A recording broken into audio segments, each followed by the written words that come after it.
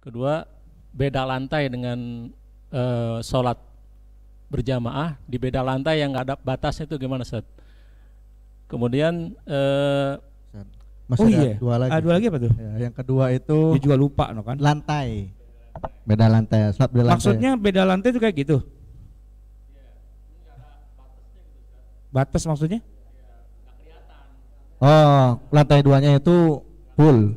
Antara imam dengan makmum nggak bisa saling melihat gitu kan? Eh, begini, memang para ulama sih umumnya mengatakan itu tidak boleh. Karena kalau terputus, seandainya terjadi apa-apa, imamnya takbir, imamnya apa namanya baca apa baca waladolin amin, dia nggak dengar, dia nggak lihat, itu menjadi nggak sah gitu kemakmumannya. Cuman di zaman modern ini orang ngasih solusi dengan speaker dan CCTV, gitu loh. Pakai speaker, pakai CCTV kan kedengeran, nah, gitu loh. Nah itu ijtihad modern di zaman sekarang. Nah, beberapa masjid seperti Sunda Kelapa, seperti Al Azhar, seperti mana-mana itu ya, itu memang rapat gitu. Enggak Ya. ada lubang. Hah? Enggak ada. Tidak ada lubangnya sehingga tidak bisa melihat visualnya nggak dapat, suara pun nggak dapat sebenarnya. Ya. Tapi kan disiasati dengan layar CCTV dan disiasati dengan speaker Hmm. sehingga ilat keharamannya tuh terbuka gitu loh, ya kan? Hmm. Ikhtilaf pasti. Banyak ulama yang Nggak mengatakan nggak boleh, Hmm. tapi sebagian lagi mengatakan ya ilat ketidakbolehannya kan sudah Sudah teratasi. teratasi gitu. Kecuali nanti listriknya mati kayak tadi. Nah, itu wassalam, bubar itu semua. Hmm. Kejadian di di mana Wisma Mulia tuh ya.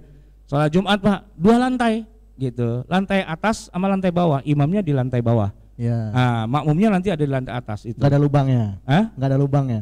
Nggak ada lubang, nggak ada suara, nggak ada apa. Pokoknya listriknya mati pet gitu kan. Ya. Jadi yang di bawah masih bisa pakai mubalir. Mubalir itu kan Allahu Akbar, Allahu Akbar gitu kan. Ya. Dia teriak kencang banget tapi mungkin sekitar dapat 30 40 saf kedengarannya. Nah, yang di belakangnya tuh nambahin lagi Allahu Akbar ke belakang lagi gitu kan terus gitu. Masih dalam satu lantai yang, lantai yang sama, Hmm. beberapa mubalir tuh bisa. Tapi kalau udah beda lantai, mau teriak dari mana? Hmm. Gitu kan?